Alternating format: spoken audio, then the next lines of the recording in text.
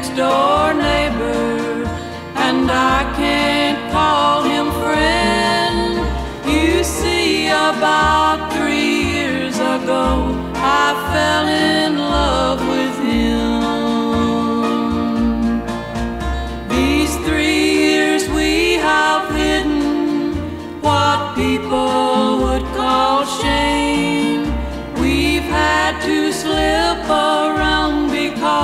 I couldn't wear his name.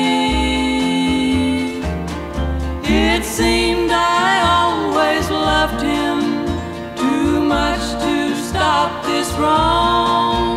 Now that I've said goodbye at last, I can't believe he's gone.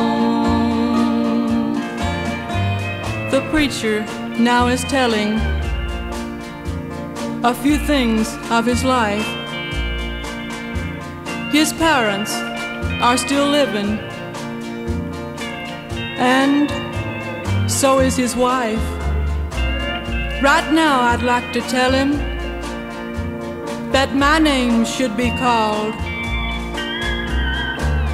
For out of all of those who care, I loved him most of all. He's offering